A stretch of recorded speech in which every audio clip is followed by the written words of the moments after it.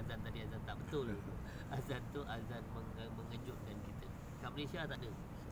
Ha, kita ada tinggi ni as-salatu khairum minan naum kita doa lah. Pakat doa semua.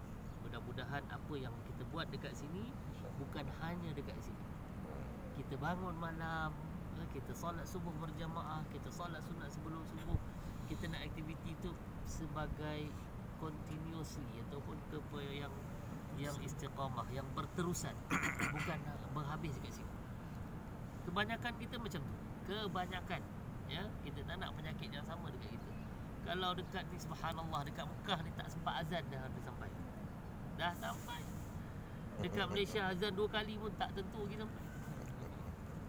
Sebab kita kenapa? Salah satunya sebab kita rasa kita dekat dengan Tuhan. Kita rasa Kaabah tu ada Tuhan dekat sini. Kita rasa tempat ni barakah. Beza eh. Tawaf tepi Kaabah betul-betul tawaf tepi Kaabah, tawaf sunat. Kita boleh pegang-pegang kain Kaabah. Dengan jauh sikit, jauh sikit. Jauh atas ni lagi. Feeling dia berbeza. Lagi jauh dekat Malaysia, lagilah berbeza. Itu yang kita nak kena buang. Kalau boleh kita nak letak Allah tu dekat dengan kita. Bila kita jauh dengan Allah, bila kita rasa kita tak nampak Allah, ah, bukan kita kita memang tahu bukan Allah ada dekat situ, tapi bila dekat sini kita rasa Allah dekat. Kita rasa mustajab. Jadi dekat Malaysia apa yang boleh kita buat? Kita ambil segala perbuatan dekat situ. Kita ambil raudhatun min riyadil jannah. Apa tu? Taman-taman syurga. Kita dah habis, kita dah tak mampu nak ke raudhah. Tapi raudhah di Malaysia ada juga. Majalisul ilm. Duduk dalam majlis ilmu, duduk je kita letakkan masa ha, kalau boleh di hari Sabtu Ahad tu ha, kita tak ada buat apa tunggu. Lepas solat subuh berjamaah tunggu sampai syuruk. Solat sunat baru balik. Dapat pahala umrah. Kalau kita lazimkan kurang-kurang satu minggu aku mesti dapat pahala umrah. Boleh? Yang bekerja Sabtu Ahad ada. Yang tak bekerja hari-hari ada. Duduk sampai sampai uh, sampai tulu' syams itu mendapat pahala umrah dapat pahala riyad min riyadil raudatun min riyadil jannah duduk majlis ilmu. Jadi insyaallah dalam perjalanan kita Taif kita nak dapatkan majlis ilmu. Yang dekat sini pun kita banyak.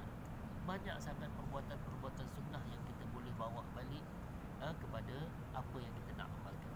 Dalam peristiwa Hudaybiyah kalau kita tengok perjanjian Hudaybiyah sahabat-sahabat ni kira nak perang lah sahabat Nabi sallallahu alaihi wasallam bila mana diperkotak-katikkan dipendekkan cerita. Selepas uh, selepas perjanjian ditulis. Ketika mana perjanjian ditulis pun nampak macam berat sebelah.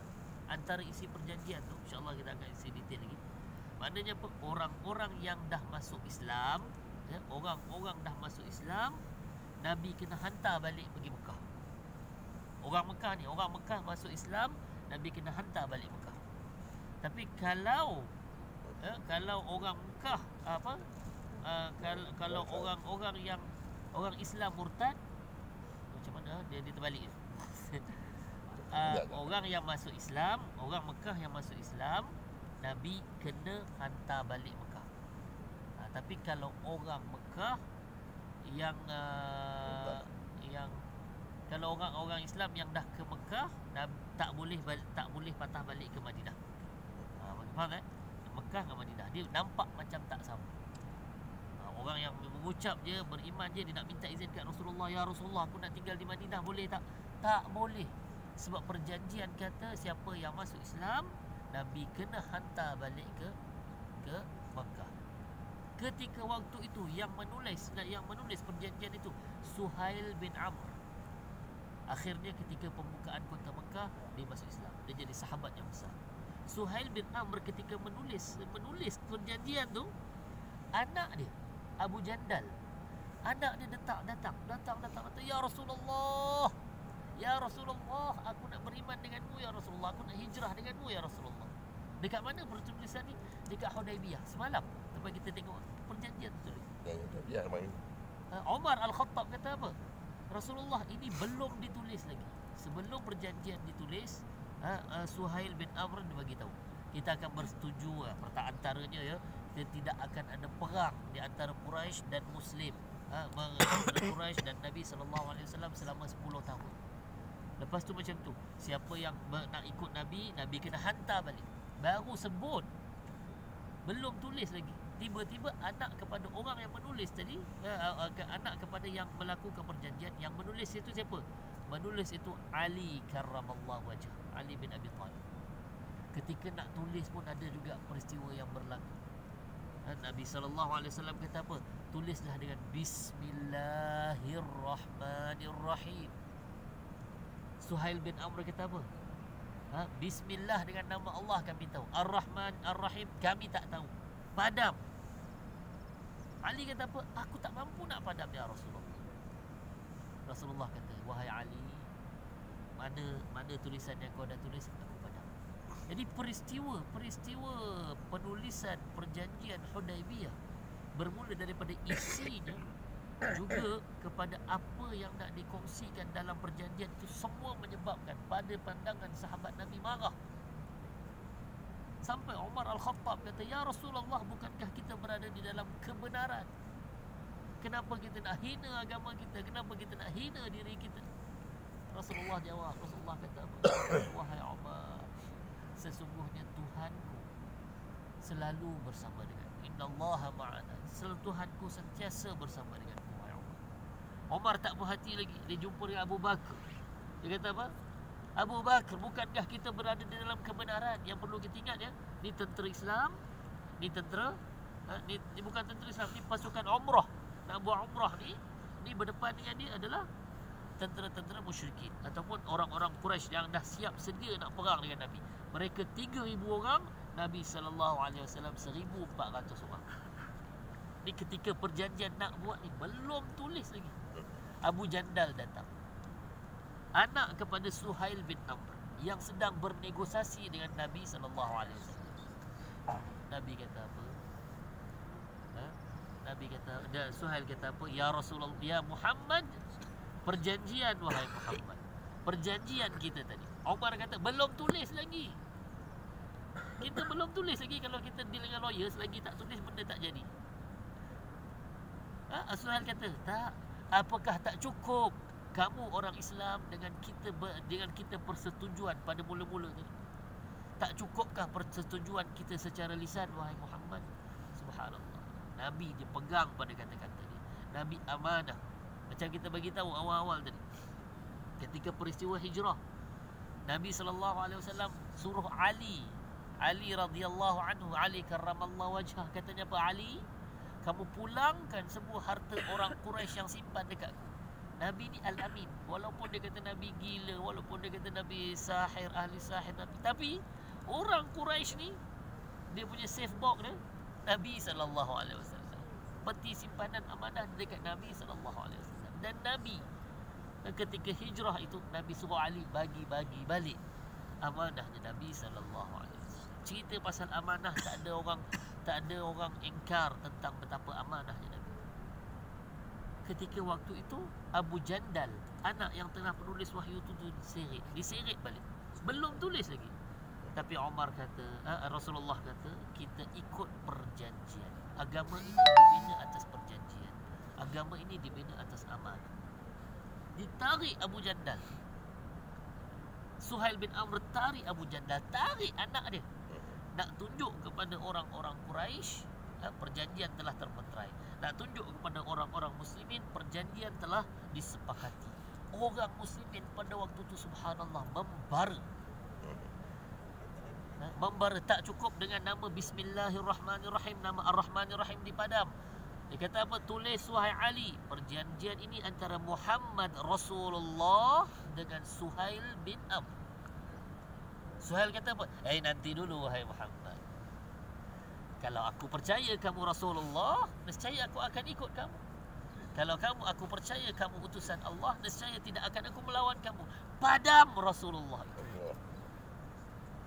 Padam utusan Allah itu.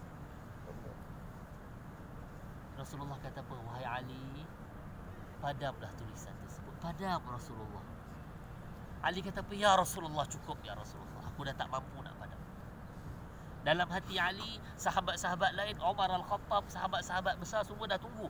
Bila je Rasulullah kata nak angkat pedang, tebas perkara, tebas kepala-kepala mereka. Pancung kepala-kepala mereka. pancung kepala Suhail bin Amr. Mereka memang dah tak sabar dah. Tapi subhanallah tenangnya Nabi sallallahu alaihi wasallam. Dalam peristiwa ini Omar Al-Khattab antara pembangkang tegar. Pembangkang tu sebab apa? Bukan tak setuju dengan Nabi. Sebab mereka rasa pada waktu itu melawan musuh adalah yang terbaik. Walaupun orang datang dengan apa? Orang datang dengan ihram.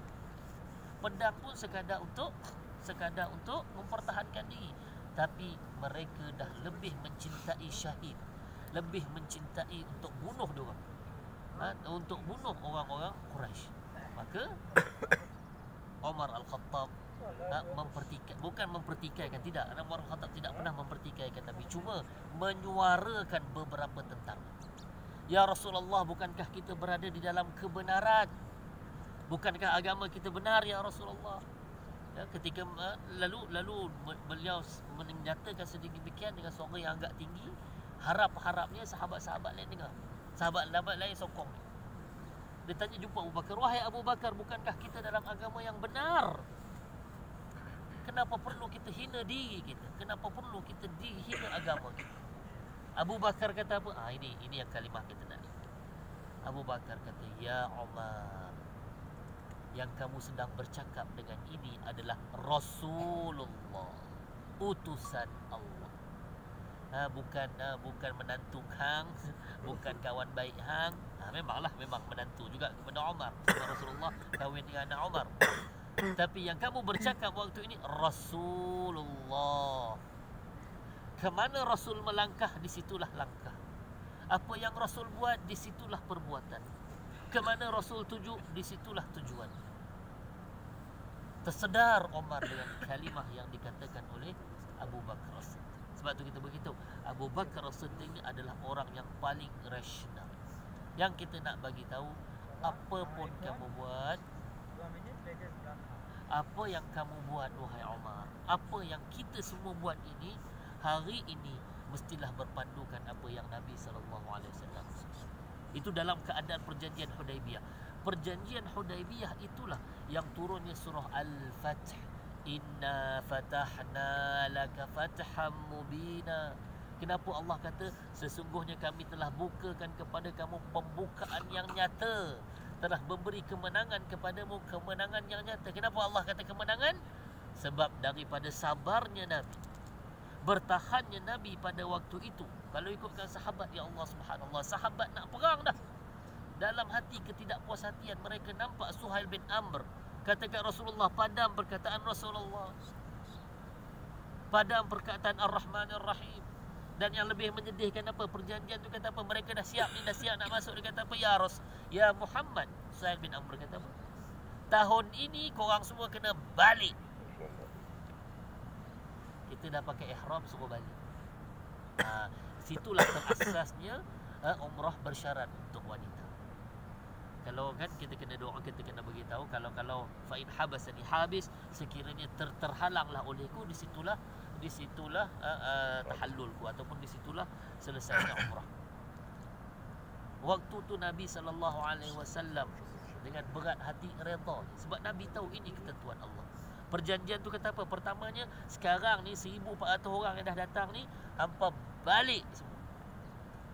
Sahabat ni pantang. Dia pantang. Dia bila dah dah dah rasa nak pergi umrah dah 5 tahun tu tak dapat pergi umrah tak tengok Mekah. Dia kata ya Rasulullah bukan kau bukankah kau telah janji kita nak pergi umrah kita nak masuk Mekah. Rasulullah tanya balik. Naam, ya aku aku telah bagi tahu. Tapi Omar, adakah aku bagi tahu tahun ni yang kita nak masuk Mekah? Nabi tak sebut tahun pun, Nabi kata kita akan masuk. Jadi sabarlah. Sebenarnya selepas dan yang nak suruh pun waktu tu waktu tu Nabi kata, "Okey, sekarang ni kita ikut perjanjian, kita akan balik sekarang." bercukurlah kamu. Botakkanlah kepala kamu. Tahallul juga eh. Tahallul juga. Walaupun tak masuk umrah. Ha, dekat situ dah tak boleh nak masuk. Perjanjian kata dekat situlah dia tahallul dia. Sahabat pertama kali pertama kali dalam sejarah Rasulullah sallallahu alaihi wasallam sahabat duduk diam Rasulullah kata pergi tahallul kau orang semua seorang tak bergerak Rasulullah dia tak bagi arahan dua kali. Dia terus masuk dalam. Kerana apa? Dia takut bagi satu arahan, tiba-tiba Allah turun wahyu, azab semua sahabat. Dia takut. Lalu bagi dia takut bagi dia masuk dalam berjumpa dengan Ummu Salamah. Ummu Salamah atau sahabat si Nabi yang yang ber, yang tua, yang paling tua katanya, "Ya Rasulullah, apa alangkah baiknya? Boleh tak aku cadangkan ya Rasulullah? Kalau kau mulakan dahulu." Rasulullah keluar dia kata subhanallah ni'mar ra'i. Cadangan yang paling baik. Ha, cadangan yang paling bernas. Rasulullah keluar Rasulullah cukur rambut di sini bila tengok Rasulullah dah cukur maknanya sahabat tahu habis. Dah tak ada harapan. Ha, sahabat ni bukan tak nak buat. Dia tengok selagi Nabi tak buat dia tahu kod-kod lah ada wahyu turun. Kata kita boleh masuk ada wahyu kata dia mengharap lagi nak masuk. Pengharapan yang sangat tinggi. Cuma semalam you kita tersekat dekat unta je. Kita tak dapat masuk. Apa kita rasa? Mainlah dengan unta tu. Kita nak masuk Mekah ni semalam Masa kita hari pertama tu Labbaik Allahumma labbaik Labbaik la syarika laka labbaik. Dekat situ je. Tak boleh masuk. Bas kita pusing-pusing situ je. Apa Polis tak bagi masuk pun kita berdarah-darah Immigration, immigration. Immigration tak kasih masuk pun berdarah-darah Sampai dekat Malaysia Immigration Dekat sini Immigration tak kasih Immigration tanya je. Muka biru dah Nak-nak yang tak ada mahram. Ha? Nasib baik dia tak tahu. Nasib baik dia tak tahu. Dia Tak je. sempat masuk lagi. Ditahan. Bila ditahan ini Satu perkara yang Yang menggusarkan. Jadi Bila tengok sahabat Nabi SAW Dah bercukur Maka dalam hadis menyebutkan bermula waktu itulah sahabat-sahabat Nabi juga bercukur. Emosi pada waktu tu bila mereka bercukur berdarah habis kepala. Sebab geram. Tak dapat masuk dia cukur kepala kawan dia, toreh kepala kawan dia. Yang kita kena ingat sahabat Nabi bercukur waktu itu bukan pakai pisau cukur macam kita. Mereka cukur pakai pedang tu. Ha, dah geram tak dapat masuk. Ini kepala kawan dia. Masa itulah turunnya hadis Nabi kata apa? Rahimahullahul muhalliqin. Moga Allah memberkati mereka yang membotakkan kepala. Rahimahullahul muhalliq. Ya Rasulullah yang gunting yang gunting rambut macam mana ya Rasulullah? Rasulullah kata rahimahullahul muhalliqin. Moga Allah memberkati mereka yang botakkan kepala tiga kali. Bagi semangat dekat sahabat. Sebab ada sahabat yang takut dia pedang. Dia bukan macam mesin sekarang bayar 10 rial boleh botak. Tak. Jangan bayangkan nak membotak kepala macam kita mudah ni. Zaman sahabat pakai pedang, oh salah tarik. Kek, sampai ke kulit kepala. Allahu Akbar. Tapi itulah yang berlaku. Sahabat reda dengan keputusan Nabi. Sahabat ikut apa yang Nabi kata. Dan kita nak balik pada sini pun. Walaupun tak kena dengan jiwa kita walaupun tak tenteram dengan apa yang kita nak buat. Ingat perjanjian Hudaibiyah. Sangat-sangat bertentangan dengan apa yang mereka hendak. Nak nak Umar Al-Khattab dia kira nak pancung. Dia nampak orang kata kalau kita pancung dia Rasulullah. Datang pancung, datang pancung. Ha, tak kira lagi yang Rasulullah kata Rasulullah tengah pilih Siapa nak masuk Mekah bernegosiasi dengan dengan penduduk-penduduk Quraisy. Nanti insya-Allah kita sambung dalam bahas. Ha, jadi banyak perjanjian Hudaibiyah ni panjang cerita. Ha, jadi insya-Allah ada masa lagi kita sambung. Orang tadi pun dah dah bukanlah halau kita suruh kita ke belakang. Ya. Ha, perempuan je ke belakang. Jadi sama-samalah. Besok malam ni ni malam yang terakhir. Besok kita cadangkanlah buat sendiri. Duduklah puas-puas dekat masjid ni. Ya, doalah. Ha, mudah-mudahan kita dapat kembali lagi dan dapat datang lagi, bertamu lagi, dijemput lagi oleh Allah Subhanahu wa taala. Kalau kita solat kat bawah lagi nampak. Ha, boleh. Solatlah kat mana pun. Tepi Kaabah pun boleh solat. Lelaki tak boleh. Perempuan agak susah.